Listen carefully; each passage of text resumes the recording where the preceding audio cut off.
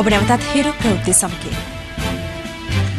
මෙරට මැණික් ගැනීම සඳහා කිසිදු විටක විදෙස් සමාගම්වලට අවස්ථාවක් ලබා නොදෙන බව ජනාධිපති මෛත්‍රීපාල සිරිසේන මහතා පවසනවා. ජනාධිපතිවරයා මේ අදහස් පළ කළේ බණ්ඩාරනායක අනුස්මරණ සම්මන්ත්‍රණ ශාලාවේදී අද පෙරරුවේ පැවති උත්සවයකට එක් වෙමින්.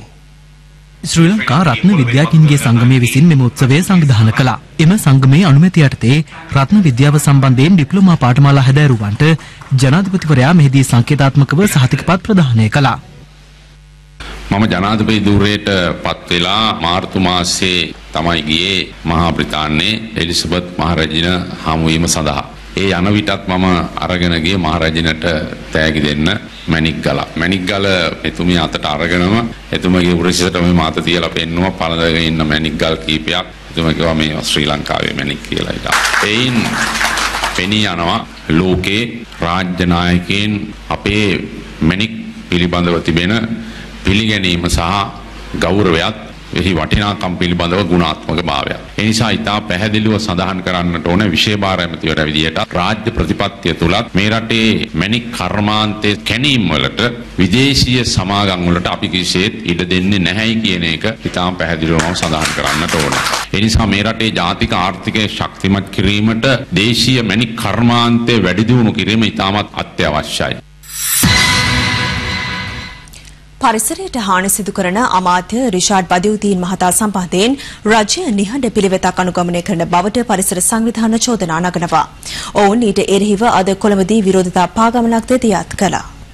විල්පත්තුව අබේ භූමියේ විශාල වන විනාශයක් සිදුවන අයිරු හිරු ප්‍රවෘත්ති තුලින් පළමුවරට අනාවරණ කරනු ලැබුවේ පසුගිය අප්‍රේල් මාස 22 වෙනිදායි. අපගේ එම හෙළිදරව්වත් සමග රටේ විවිධ පාර්ශවවල අවධානය මේ වෙත යොමු වුණා. පසුගිය මැයි මාස 9 වන දින ජනාධිපති මෛත්‍රීපාල සිරිසේන මහතා විල්පත්තුව අවට සිදුවන වන විනාශය නතර කරන ලෙසට නියෝගයක් ද නිකුත් කළා. කෙසේ වෙතත් එය නොතකමින් රිෂාඩ් බදුදීන් අමාත්‍යවරයා කටයුතු කරන බවට චෝදනා කරමින් පරිසර සංවිධාන එකමුතුව අද විරෝධතාවක් සංවිධානය කර තිබුණා. විහාර මහදේවී උද්‍යානය අසලින් නැරඹී මෙම විරෝධතා පාගමන නෙළුම් පොකුණ රඟහල දක්වා පැමිණියා. රිචාඩ් බදුරුදීන්ටයි මෙච්චර බය. රිචාඩ් බදුරුදීන්ගේ මොකක්ද තියෙන හයිය? මේ වගේ නොසන්ඩාල මිනිස්සුන්ගෙන් මේ මහා වන විනාශය වළක්වා දෙන්න. මෙතෙන්ට රනිල් වික්‍රමසිංහ මහත්තයාට එන්න පුළුවන්. දසිල් රාජපක්ෂ මහත්තයා පටන් ගත්ත වන විනාශය එතුමාටත් මෙතෙන්ට එන්න පුළුවන්. මහින්ද රාජපක්ෂ මහත්තයාටත් එන්න පුළුවන්. මෛත්‍රීපාල මහත්තයාටත් මෙතෙන්ට එන්න පුළුවන්. හැබැයි මේක දේශපාලනික පාව දෙන මේක නොසන්ඩාල වැඩක් කරන්න අපිට තියන්නේ නැහැ. මේ අතර ආනන්ද සාගර හිමියන් බදුදීන් අමාත්‍යවරයාට තවත් චෝදනාවක් කළා. අපි අභියෝගයක් කරනවා රිෂාඩ් බදුරුදීන් මහත්තයට අභියෝගේ පුළුවන් නම් බාර ගන්න. රිෂාඩ් බදුරුදීන් මහත්තයාගේ හෙන්චයිල විසින් මේ රටේ ඉතා දැවැන්ත සූක්ෂම කුඩු ව්‍යාපාර සිද්ධ කරනවා. තමාට එල්ලවන චෝදනා සම්බන්ධයෙන් පැමිණිල්ලක් කිරීමට රිෂාඩ් බදුදීන් අමාත්‍යවරයා අද පස්වරුවේ කුරුඳුවත්ත පොලිස් ස්ථානයට පැමිණියා. අද වෙනතුරු විල්පත්තු වන උද්‍යානය ඇතුළ එක අංගලක් කරි මම හෝ මගේ සමාජය හෝ විනාශ කරලත් නෑ කුඩු ව්‍යාපාරයක් කොළඹ දිස්ත්‍රික්කේ කරනවා කියලා. පුරු චෝදනාවක් මට විරුද්ධව එල්ල කරපු ඔබට විරුද්ධව කෝටි 100ක් ඉල්ලලා මම ලියුමක් එවලා තියෙනවා මට වන්දි ඉල්ලලා. දැන් හිරු සියයේ විශේෂාංගය. මෙරට ජනතාව දුගීන් බවට පත් කරන රේස් බයි රේස් මධ්‍යස්ථානවල සිදුවන නීති විරෝධී ක්‍රියා අප CIA ඔස්සේ හෙළි කළේ වරක් දෙවරක් නොවේ. ඔට්ටු ඇල්ලීමේ සහ සූදු බදු පනත අනුව තුරංග තරංග සඳහා ඔට්ටු ලබා ගැනීමට හැකි වුවද එම මධ්‍යස්ථාන තුළ නීති විරෝධී ලෙස පරිගණක ක්‍රීඩා, ක්‍රිකට්, පාපන්දු ආදී ක්‍රීඩා සඳහාද ඔට්ටු ලබා ගැනීම සිදුවනවා. එමගින් රේස් බයි රේස් ආයතන කෝටි ගණනින් නීති විරෝධීව මුදල් උපයා ගැනීම රහසක් නොවේ. මේ අතරතුර සූදු මධ්‍යස්ථානවල සිදුවන අලුත්ම නීති විරෝධී ක්‍රියාව නිරුපේක්ෂකයෙකු මෙලෙස හෙළි කළා. මේ රේස් බයි රේස් වල අලුත්ින්ම සූදුවක් පටන් අරන් තිනවා රූපරජිනි තරඟාවලිය මේ පත්තරේ මුද්‍රණය කරන්නේ ආයතනින්මයි අට නිර්වත්ම තමයි මේ ඡායාරූප පළ කරලා තියෙන්නේ. මේක ගන්න එන්නේ ගොඩක් පාසල් යන ළමුන්. මේක නීති විරෝධී වගේම සදාචාර විරෝධී. රේස් බයි රේස් ආයතනවල මෙම පුවත්පත අලෙවි කරන්නේ රුපියල් 10ක මිලකටයි.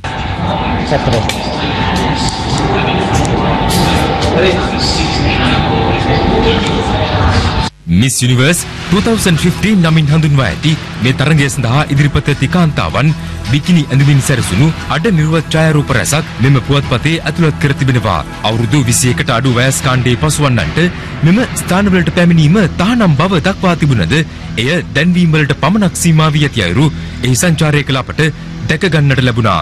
මෙම නීති විරෝධී සූදුවේ යෙදෙන අයුරු රේස් බයි සේවකයෙකු පහදා දුන්නේ මෙලෙසයි. එයාගේ නම තියෙන වරහන් ඇතුලේ යට රූල් එකෙන් දෙවෙනි රූල් එයාටද වැඩිම ගාන දෙන්නේ. එයා තමයි මේවලට ඉන්නේ. මේක ඉස්සනේ තියෙන්නේ. ශ්‍රී ලංකා එකක් ලැබුණා ෆයිනල්ද? මෙරට දරු පරපුරද දුරාචාරය කරාගෙන යන මෙම රේස් බයි රේස් මධ්‍යස්ථානවල ඇති නීති විරෝධී ක්‍රියා සඳහා වගකිව යුතු බලධාරීන්ගේ ඇස් ඇරෙන්නේ කවදාද? හිරු සීයයියේ අවධානයෙන්.